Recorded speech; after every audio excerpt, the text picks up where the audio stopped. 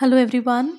Welcome back to Bleed Electrical. I'm Triveli Naidu from the Department of Electrical Engineering at St. Vincent Pallotti College of Engineering and Technology, Nagpur. In this video, I'll be talking about energy conservation in motors. Now, firstly, to understand about the energy conservation, we need to understand what are the types of motors that are used in industries. हम देखते हैं कि common industrial electric motors होते हैं induction motors direct current motors और synchronous motors और इन सारे मोटर्स में जो बेसिक ऑपरेटिंग कंपोनेंट्स होता है वो होता है स्टेटर रोटर बेरिंग्स और उसका frame we know this is a DC motor this is induction motor and this is synchronous motor. So DC motor works on the DC supply. Then these two are the AC motors. Here if the synchronous speed is not equal to the rotor speed we say it is an induction motor or an asynchronous motor. And here when the speed is equal when the rotor speed and the synchronous speed are equal then we say that the it is a synchronous motor when the speed of the magnetic field as well as the rotor are equal. So here we find these motors. Now it becomes very essential for us to know the motor characteristics. कौन कौन सी motor characteristics हमें जान का जाननी चाहिए पहला है उसका मोटर का स्पीड सो so, मोटर का स्पीड का फॉर्मूला है 120 twenty F by P where F is the frequency and P is the number of poles the actual speed with which the motor operates will be always less than synchronous speed it is known to you all very well. Okay then the difference between the synchronous speed and the full load speed is known as the slip. And the formula for slip is synchronous speed minus full load rated speed upon the synchronous speed into 100 and another thing is the power factor. Power factor is given by the formula kilowatts upon kVA then load when the load decreases the magnitude of the active current will always reduce. And you also have to know that it is always proportional to the voltage as a result of which the motor power factor always reduces with the reduction in the load. If the load reduces then the power factor will also reduce. And in induction motor what what happens? They operate below their rated capacities. So they are the major reason for low power factor in the electrical systems now another Im important thing is the motor efficiency Motor efficiency is defined as the ratio of the mechanical energy delivered at the rotating shaft to the electrical energy input at its terminal. And another important thing is as I told you power factor. Now motors like inductive loads are characterised by the power factor less than one हमेशा जो power factor Motors का रहता है, वो less than unity रहता है less than one रहता है because they are always inductive in nature they are lagging in nature so the total current drawn needed to deliver the same real power is higher than the load characterized by a higher power factor. So it draws more current it is always the requirement of current is more high if the low power factor is there okay so an important effect of operating with a less power factor than 1 is that resistance losses in wiring upstream of the motor will be higher है ना अगर आपका power factor लो रहता है तो आपका जो current रहता है वो ड्रॉन ज़्यादा होता है एंड उसके वजह से लॉसेस आपके ज़्यादा होते हैं। So for high value of efficiency आपको चाहिए कि आपका power factor always close to unity रहे। जितना वो वन के आसपास रहेगा, उतना ही अच्छा है for efficient working now let us talk about the losses major losses कहाँ आकर होते हैं एक मोटर में? जनरली हम देखते हैं कि लॉसेस अकर होते हैं आयरन कोर में so it is iron core losses then stator में, इसलिए stator resistance losses then you have rotor resistance losses friction and windage losses then you say there are stray losses. Okay, so these are the amount of losses that takes place and which which uh, contributes towards the hindrance in the efficiency of a motor okay? So input to output input is given 100% whereas the output is only 92.4% so this is what is the efficiency correct?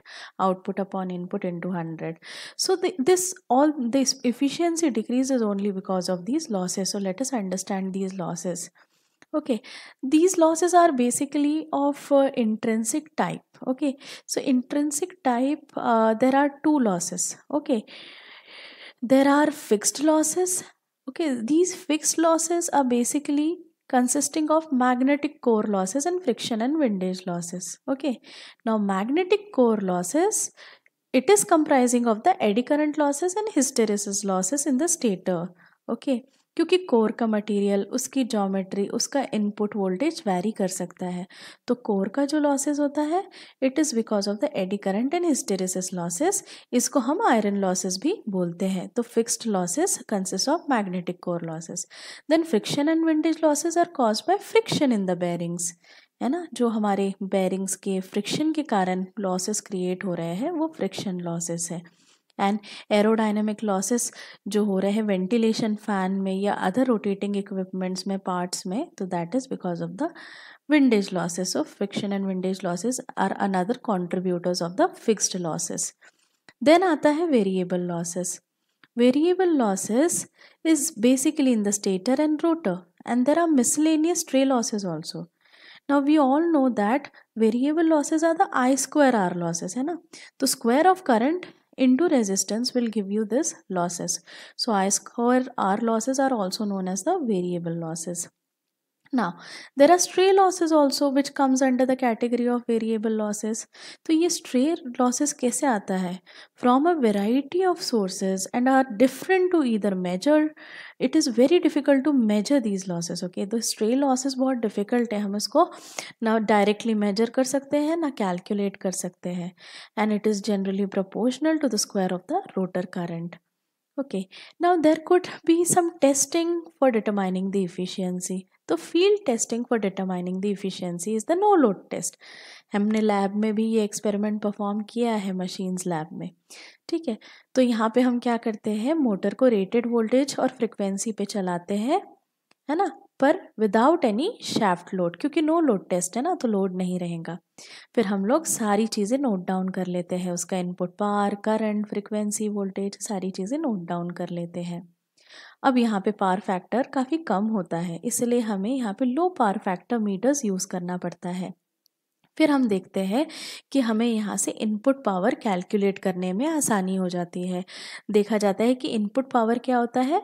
It is stator I square R losses under no load condition minus the sum of friction and windage losses and core losses so the formula will be something like this okay so it is no load power minus no load current square into stator resistance so this would be the losses and you can finally calculate it and you can also plot a graph in between the no load input kilowatts versus the voltage and when you see the intercept of the no load input kilowatt versus the voltage it is friction and windage losses so you can draw the graphs accordingly okay so this is about determining the efficiency from the field tests now stator and rotor i square r losses the stator winding resistance can be directly measured okay अब यहाँ पे resistance की value में भी correction होता है correction because of the temperature because we know that it Ohm's law is followed only when the temperature is kept constant है ना? It varies with the temperature resistance is temperature sensitive so we need to add that correction also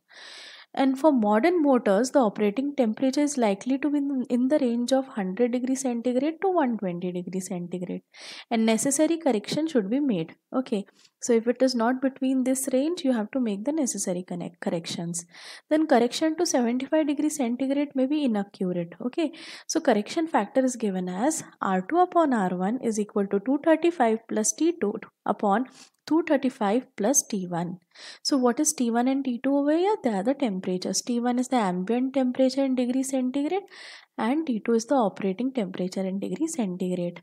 Then the rotor resistance can be determined from the logged rotor test. Now यहाँ पर हमने ये सारी चीज़ें देख ली जो इन्फॉर्मेशन निकल सकता था हमने नो लोड टेस्ट से निकाल लिया लेकिन अगर हमें रोटर का रेजिस्टेंस चाहिए तो हमें लॉग्ड रोटर टेस्ट करना पड़ेगा, या ब्लॉक्ड रोटर टेस्ट भी बोलते हैं at reduced frequency but rotor I square R losses are measured from the measurement of the rotor slip okay now rotor I square R losses का क्या formula होगा? Slip into stator input minus stator I square R losses minus the core losses so then accurate measurement of slip is possible by stroboscope and non-type, non-contact type of tachometer.